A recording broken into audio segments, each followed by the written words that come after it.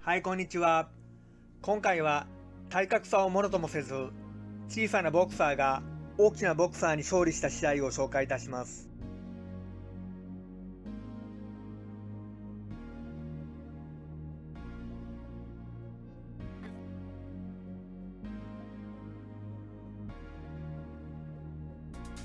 ロイ・ジョーンズは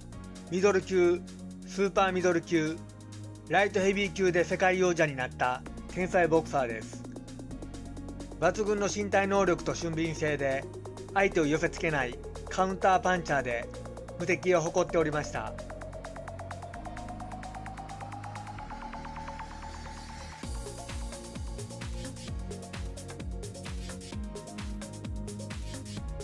ミドル級出身のボクサーがヘビー級王者になることは常識では考えられないのですが、ロイ・ジョーンズは WBA ヘビー級王者ジョン・ルイスに挑戦しました。試合前の予想では15キロの体重差とルイスのパワーが有利という意見。それとは逆にロイ・ジョーンズのスピードとキレそして天才的な防御感が常識を覆すといった意見とに分かれていました。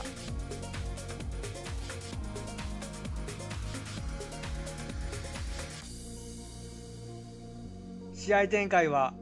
王者ルイスの重いパンチをロイ・ジョーンズはうまくかいくぐり鋭いパンチを浴びせ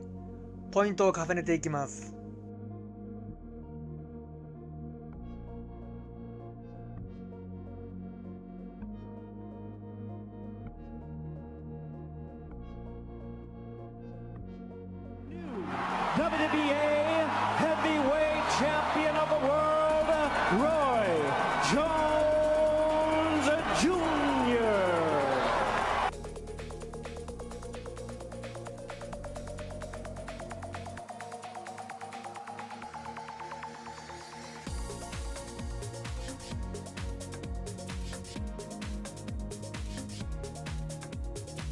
タンクの意味を持つタンク・デイビスは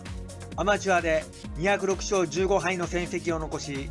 スーパーフェザー級でプロデビューしました。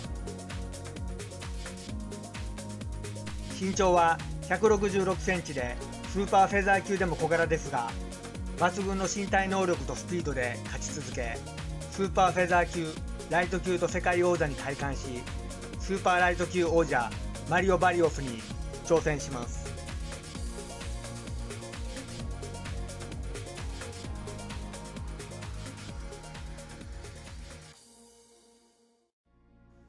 タンク・デイビスは長谷川選手と激闘を繰り広げたウーゴ・ルイスを1ラウンドで KO しさらに実力者のガンボアやサンタクルフォーも KO しております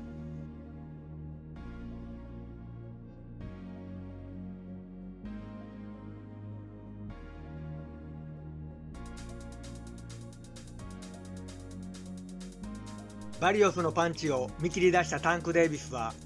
第8ラウンドに強烈な右フックを炸裂させます。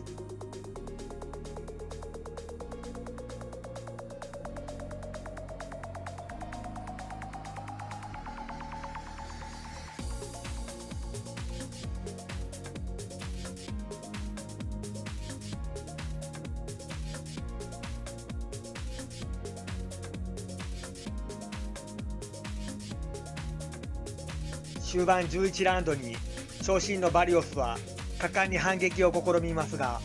タンク・デイビスはうまく防御をしながら迎え撃ち強烈なボディーブローを放ちます。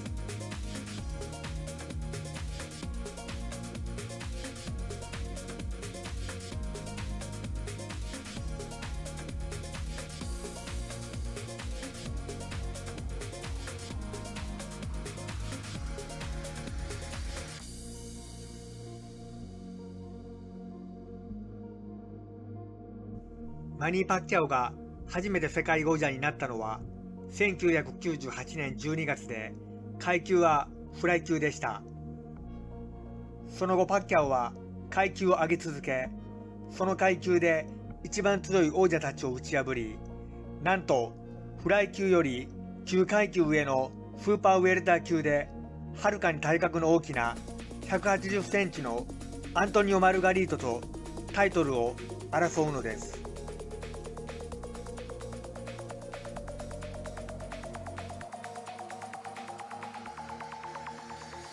方体格の大きなマルガリートは WBA、IBF、WBO でウェルター級王者となったボクサーで打たれ強さと打ち出すと止まらない全身力が持ち味でミゲル・コットに初黒星を与えたことで有名です。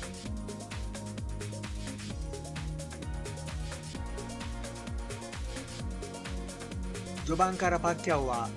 スピードで大きなマルガリートを圧倒しますが6ラウンドと8ラウンドはコーナーに詰められ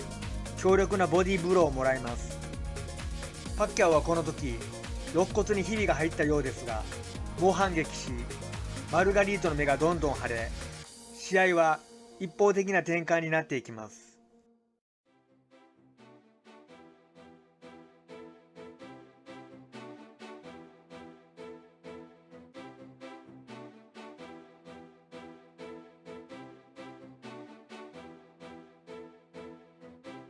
試合が一方的でマルガリートにかなりダメージがあるため終盤パッキャオはたびたびレフリーにマルガリートの傷をチェックするよう促します。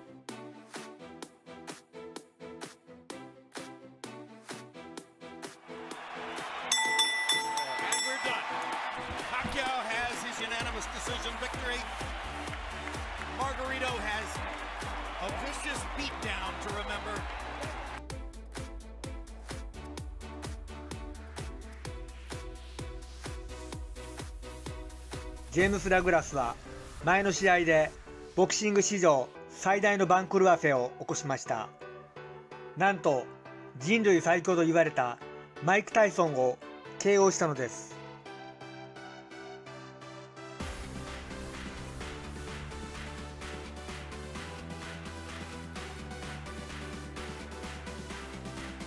ダグラスに挑戦するホリフィールドはタイソンと戦うために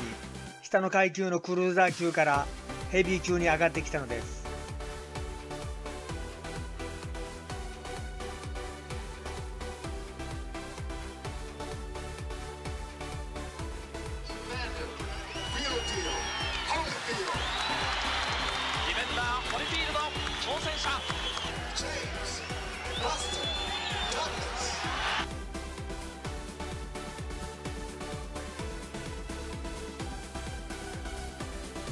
統一世界ヘビー級タイトルマッチの一戦は王者ダグラスの体重は111.6キロに対しクルーザー級から上がってきたホリフィールドは94.3キロで体重差が約17キロあったのです。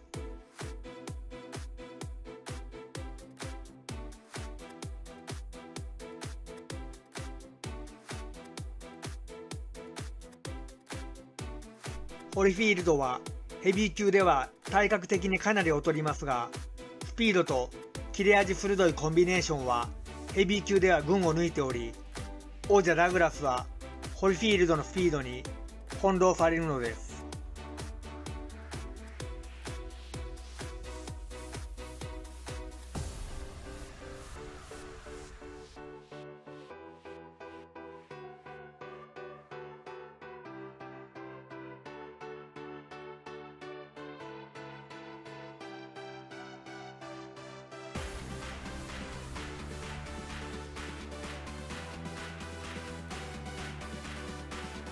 初回にペースをつかんだホリフィールドはリズムに乗りリーチ差をものともせず左ジャブの差し合いでも優位に立ちます。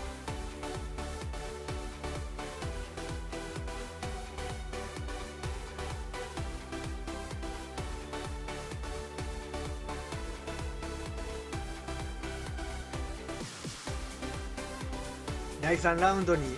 王者ダグラスはようやくパンチをヒットさせ攻勢に出ようとしますがホリフィールドは防御から強烈でコンパクトな右を炸裂させます。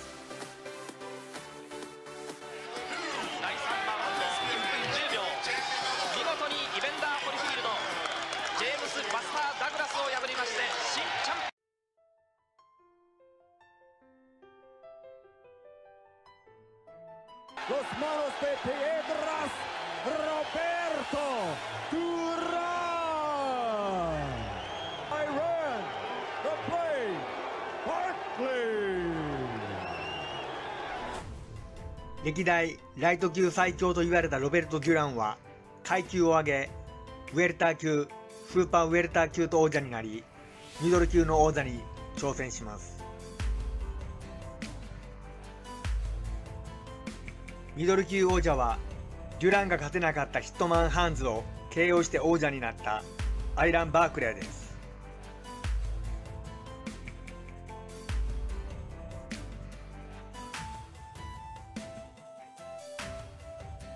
ライト級王座に長年君臨していたデュランは階級を上げてミドル級王座に挑みますがミドル級王者バークレーはデュランより15センチも背が高くはるかに大きな体格をしております。その上デュランを KO したヒットマンハンズを KO し年齢も28歳とデュランより10歳も若くノリに乗っております。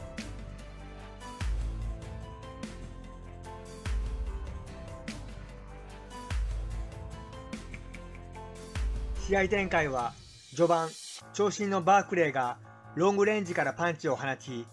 デュランが中に入ろうとしても大きな体から放つパワーパンチで中に入れませんでしたが中盤からデュランがパンチをかいくぐり接近戦で打ち勝つようになってきました。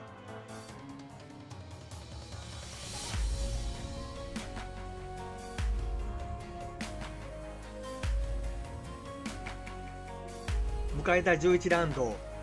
デュランの力強いコンビネーションが炸裂し大きなバークレーをなぎ倒します。